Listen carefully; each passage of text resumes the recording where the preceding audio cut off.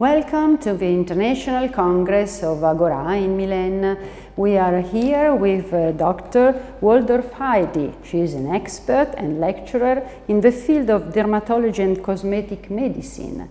So, what would you like to highlight in the matters that you were dealing in this uh, Congress, in particular in your session? My session was wonderful. It included several physicians from both plastic surgery, aesthetic medicine, and dermatology, and we all shared a, the same theme.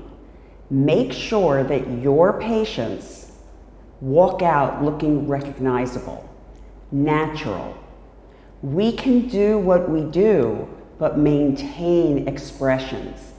One of the things that my patients worry about is looking stiff, very straight face, and not being able to make their normal expressions.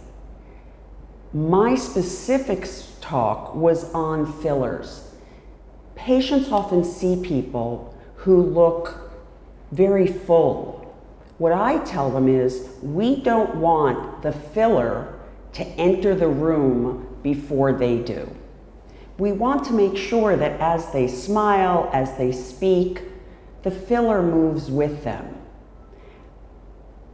In my talk, I discussed how I explain this to the patient and the science behind it. We know there is a line of ligaments. The general way I think about this is anterior to that line Medial, we have mobility. Lateral, we have lift. So whenever we are treating the central face, we want to make sure that anything that goes higher in the skin has stretchability, mobility. We don't want to overfill with thicker, tenser fillers.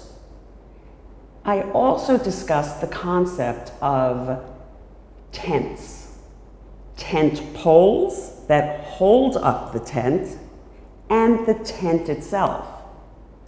For a patient who has very uh, deep, deep areas of volume loss, a few tent poles will help lift it in the same way that if you lift a fabric in one area, the rest of the fabric will lift.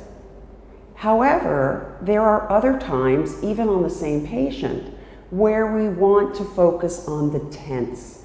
That's a giving a more superficial flow or transition from section to section.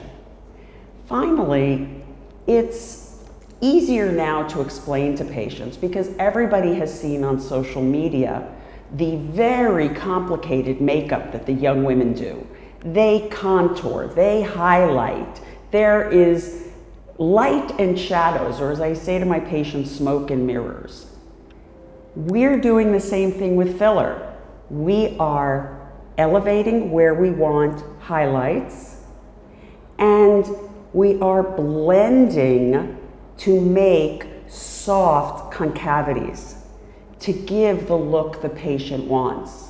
What I loved about my session is that everything I said that I saw in my treatments was reflected in my colleagues' talks about how they use botulinum toxin and filler.